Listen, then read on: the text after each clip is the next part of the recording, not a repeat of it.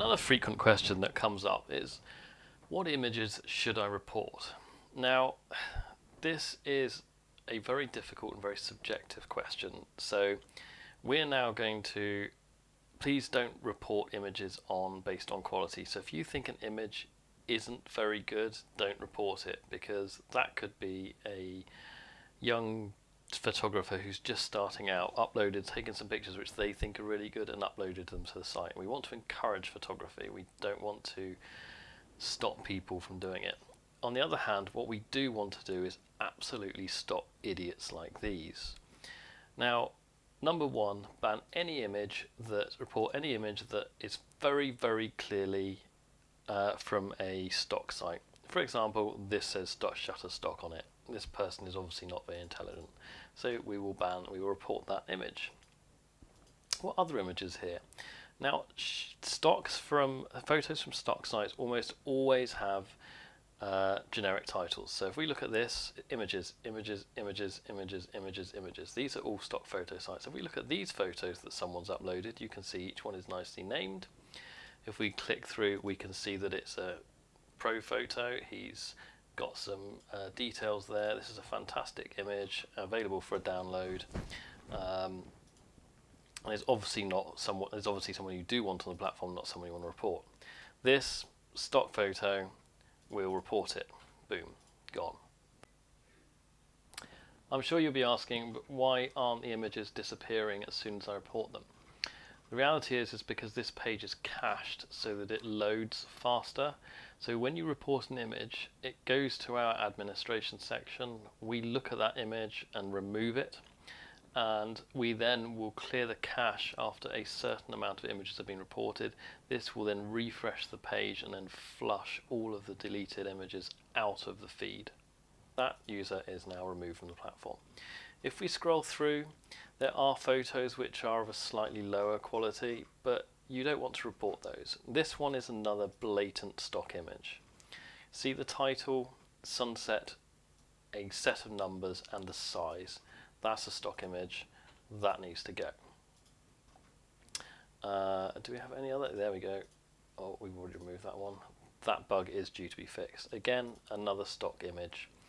Um, this one he has renamed, but I mean, it's blatantly a stock image. There is no way that person took that photo be very careful when reporting images in the members section because when you report them, if they get banned and they're legitimate, they actually we lose their payments. Their payments stop going to the platform. So we really don't want that to happen unless it's absolutely necessary. So do not report an image unless you're absolutely certain that it's a stock image. Now if we go through to the free upload section, you can blatantly see images that have been stolen. I mean, there is no way someone's got a picture of Justin Bieber. I mean, it's possible, but highly unlikely.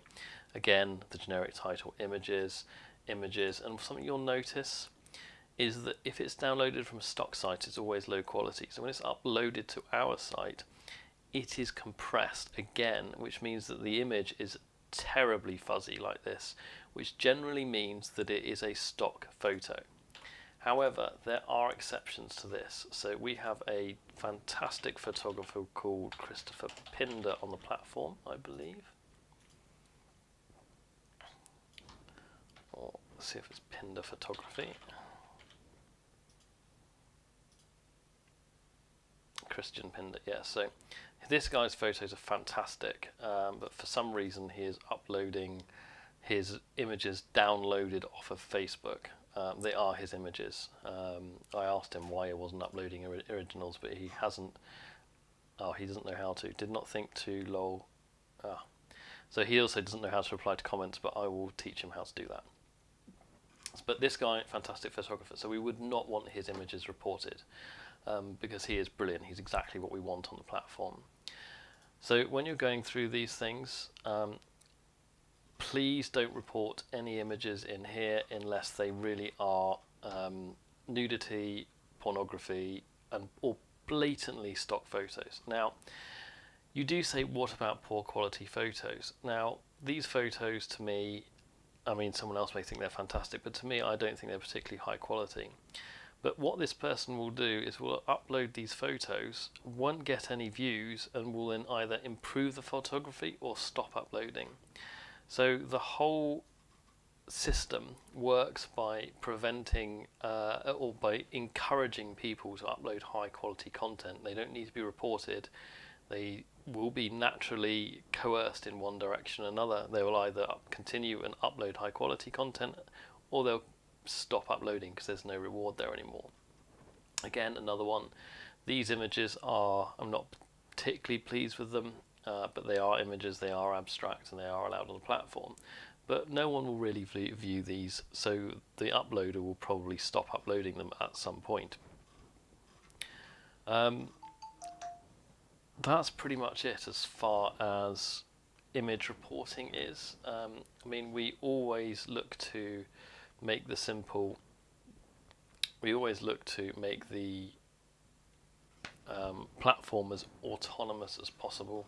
And many people upload, particularly the poorer quality images, tend to be uploaded purely because they're looking for revenue. And of course, if there is no click circles there to support those poor quality images, the uploaders will rapidly disappear.